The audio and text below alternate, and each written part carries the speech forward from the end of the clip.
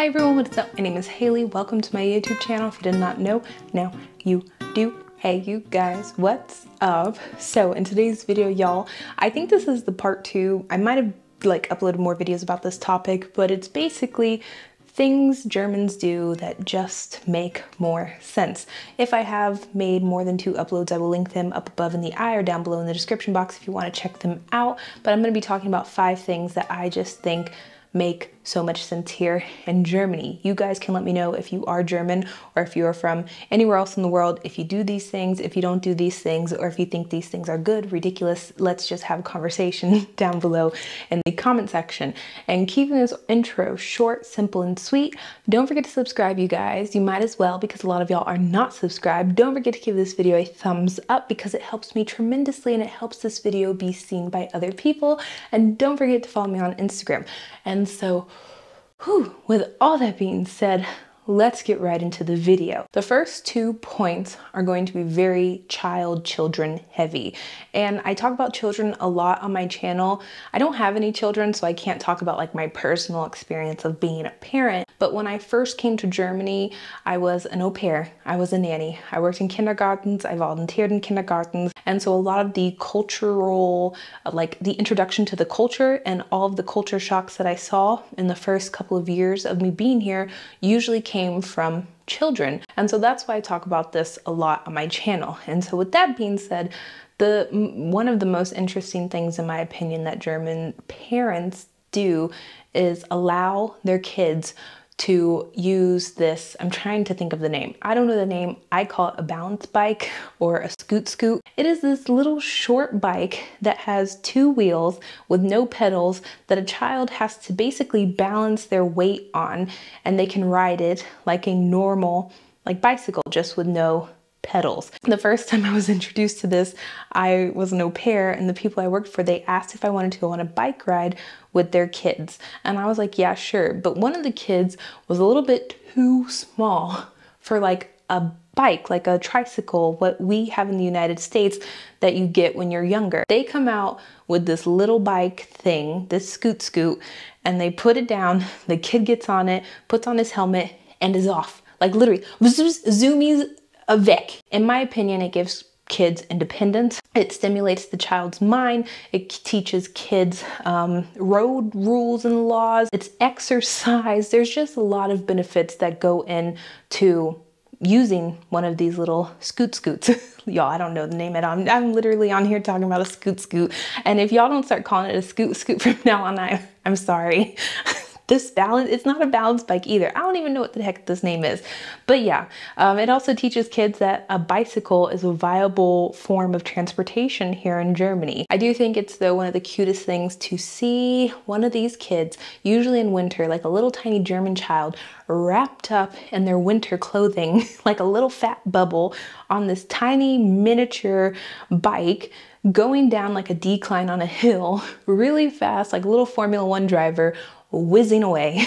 and I'm like, wow. And then hitting their brakes or stopping themselves just in enough time to not hit the main road. Going on to the next point, this is something that I find to be very good, very smart, maybe a little bit harder to implement in the United States because of our um, parental leave laws, uh, not even lack thereof. But in Germany, there's this thing called I think it's pronounced Eingewöhnung, and I haven't had to use this word, say this word in years, so I could 1000% be incorrect, but it is the um, acclimation of a kid or getting your kid acclimated into daycare. I would say the average time at my kindergarten was around 10 days max. It just depends honestly on the parents, on the children, on the daycare, and a lot of other different factors. So let's say it opens at 8 a.m., you would go from 8 a.m. to 9 a.m. on the first day, get to know the other children, get to know the people that are working there, get to know maybe the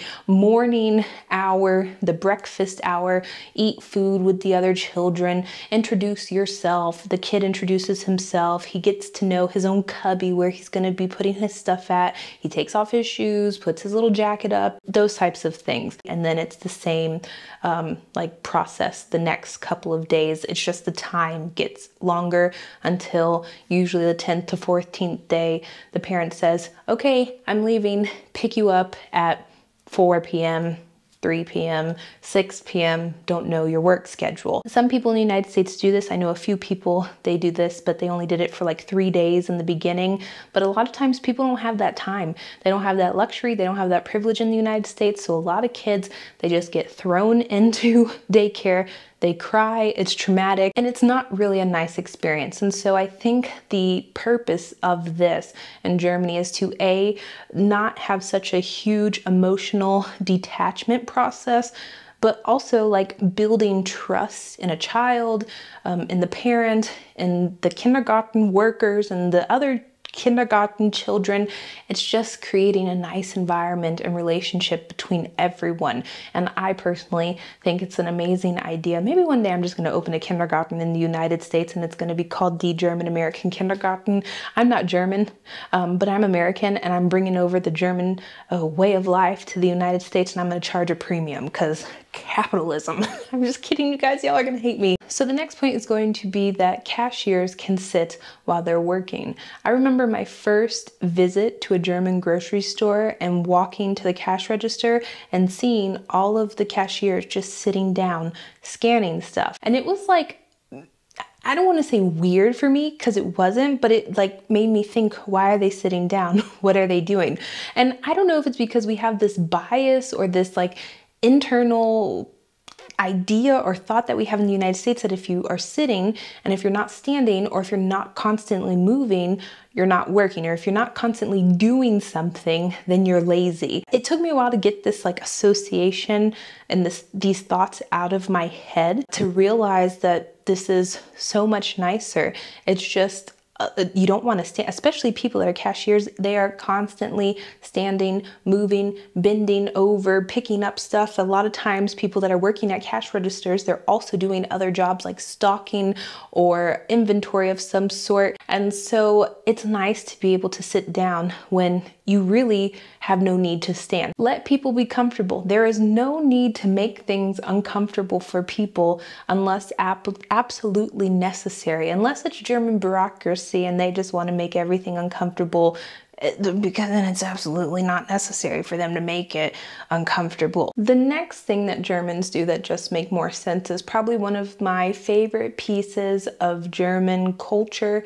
I don't know if it's German culture, it's probably European culture, but I just find this uh, idea to be very cute and it's something that I noticed in when I first got here and it is a little rent-a-garden. like I, I, I think it's called a Schrebergarten.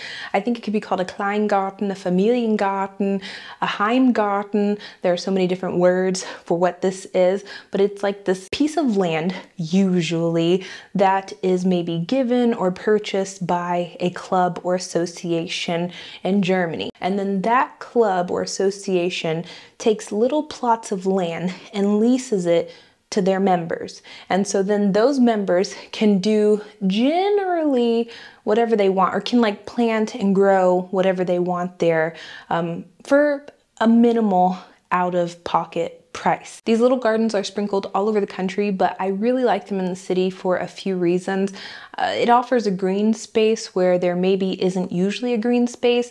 It allows a social environment for people that maybe feel isolated. It allows a lot of times elderly people to find a community of people that have similar interests as them. It allows you to grow your own fruits and vegetables at a minimal price. It allows kids and other types of even people that have disabilities. It allows them to learn um, certain, how do you say, responsibilities or skills that you maybe would not learn if you did not have um, the space available. It promotes and preserves certain species of plants and insects to thrive and have a place to live because there are certain maybe let's say plants or insects that are not really endangered but on the verge of being endangered and they need space because their habitats are being chopped down. So these types of gardens allow them to have this space and there are a lot of other benefits as well. I will maybe link like list some on the screen so you guys can see everything that I've thought about.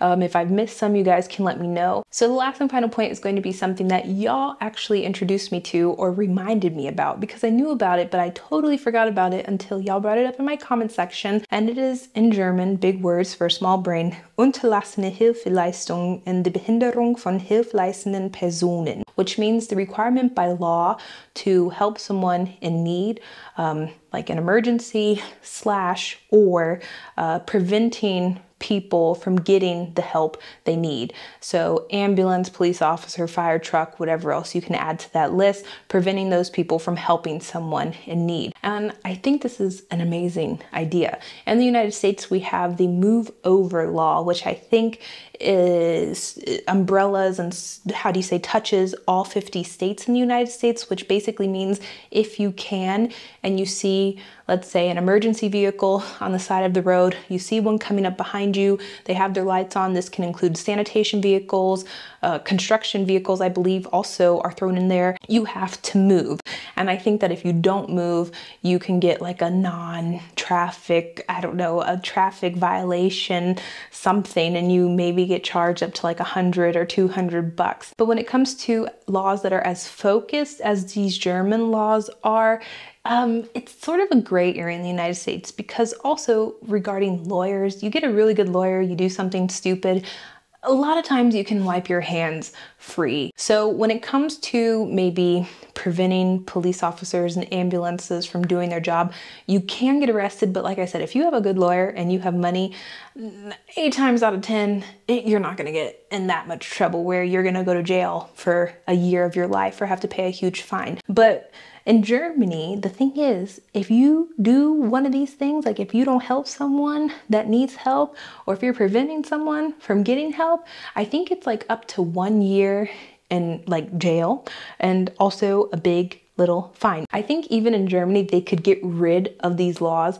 and people would still do, I could be wrong, and people would still do these things just because of the culture and how the society works. Just be careful if you're in Germany and you want to watch and record because that's also not allowed. In the United States, that's allowed. Here in Germany, you get in a lot of trouble. And so if you have skills, if you are able to help someone in need, you should definitely do it. Don't be a hindrance, don't be a burden, and also don't put yourself in more danger to hurt someone else. If you hear someone screaming in a house on fire, don't go run in the house that's on fire trying to save them, but call an ambulance, um, check the surrounding areas to make sure all of the other homes, everyone's getting out, check to see if like the neighbors are okay. I don't know, look to see if you can move something so it doesn't catch on fire. I, that's just what I would recommend. And there's probably a firefighter listening like, girl, don't don't do any of those things. Granted, maybe police, ambulance, and fire